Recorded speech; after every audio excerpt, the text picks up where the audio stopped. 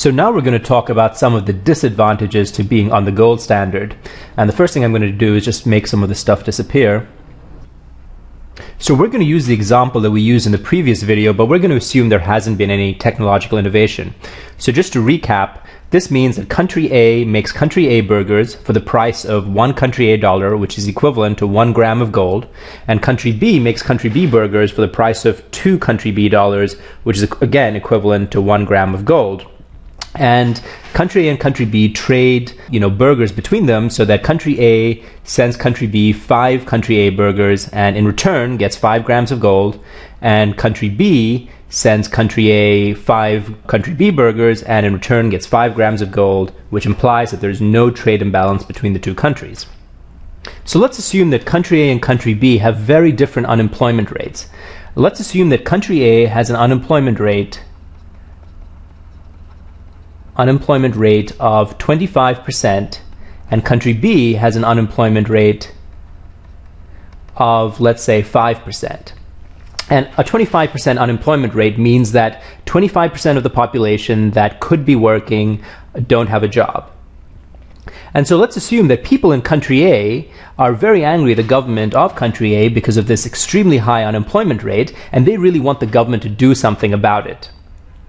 So now let's ask ourselves, what can the government do about this high unemployment rate? How can they get, how can they create more jobs for the people in country A? Well, one thing they could do is they could try changing this interest rate over here. And they could try changing this interest rate to, let's say, 4% in the hopes that people will look at the lower interest rate and be much more likely to borrow money for banks and use that money to fund new projects where they're able to employ people and thereby cause this unemployment rate to go down. But as you'd recall, it's very different for two countries on the gold standard to have significantly different interest rates. Because just say country A has a 4% interest rate and country B here has, still has a 5% interest rate, that will imply that gold will flow from country A to country B in hopes of basically capturing this 1%, 5% minus 4%, the 1% interest rate differential. And so the point is, is that if country B has a very low unemployment rate and really sees no reason why they should have a lower interest rate, it's extremely difficult for country A to lower their interest rate as well. They just can't do it because doing that would imply that gold will flow out of the country into country B. The second thing the government could try doing is they could try changing this ratio of 10 to 1 for money supply to gold as in they could say, well, you know, right now the ratio is 10 to 1, but in the future it's going to be 20 to 1. And thereby, that would mean that they could increase the money supply to 2,000. The problem with doing that is that people will then suddenly think that, wait a second, you told me that you were on the gold standard and that your currency was going to be backed by gold, you know, with this ratio of 10 to 1. But all of a sudden it's 20 to 1. I don't really trust that this currency is going to be worth something in the future, and so I'm just going to go to the bank and I'm going to exchange my currency for gold right now. And so the point here is the government can't really do that either, because doing that is the same as going off the gold standard or devaluing your currency. And so the only thing the government can do to expand this money supply number is to really figure out a way to get more gold into country A. And so the logical thing to do is to try to basically create a trade imbalance. So what you what you hope to do as a government of country A is to basically figure out a way to export more burgers than you import thereby causing a trade imbalance, which causes gold to flow to country A, which will cause this gold reserve number to go up, and thereby cause this money supply number to go up as well, which the government hopes in the long term will cause the unemployment rate to decrease. And so, what this really all comes down to is the following statement.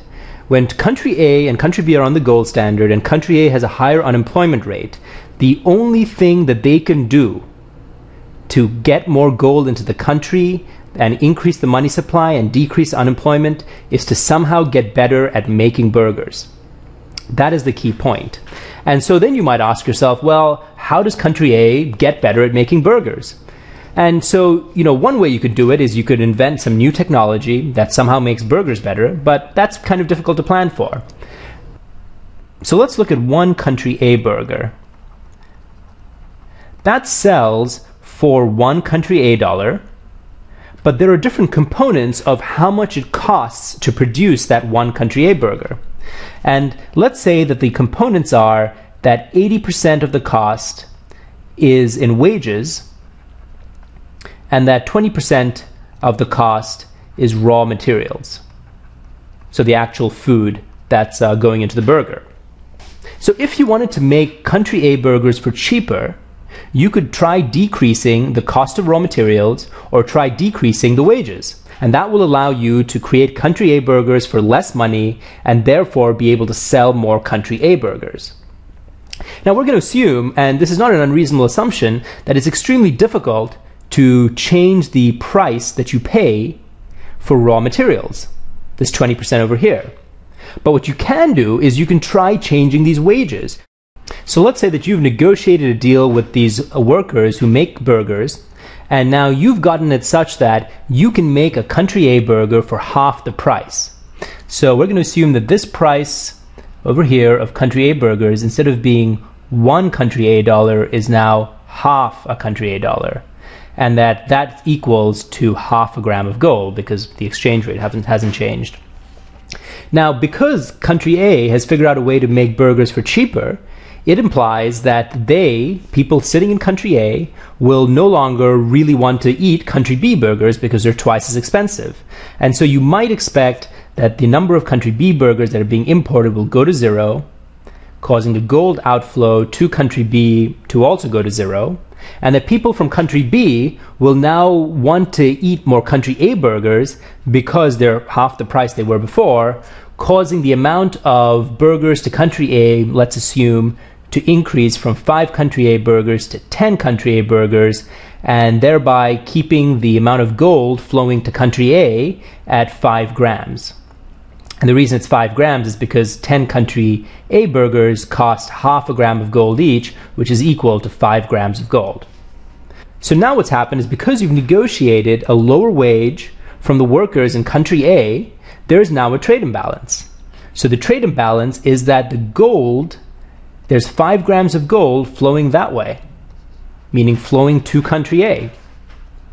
And so this implies that the gold sitting in country A will change from 100 to 105, and that will cause the money supply to be 105 times the exchange rate of 1 times the 10 to 1 ratio, which is equal to 1050. And this increased money supply means that there will now be more money circulating in the economy, and hopefully some of it will go to actually funding projects that will cause the unemployment rate to go down, that will cause this number over here to decrease.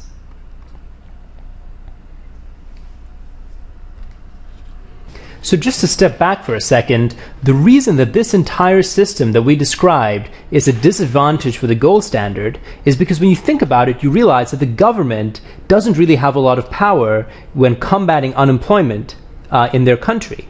You know, they can't really change the interest rate because that will cause gold to leave. They can't really change the exchange rate or this ratio of money supply to gold because that's the same as just going off the gold standard.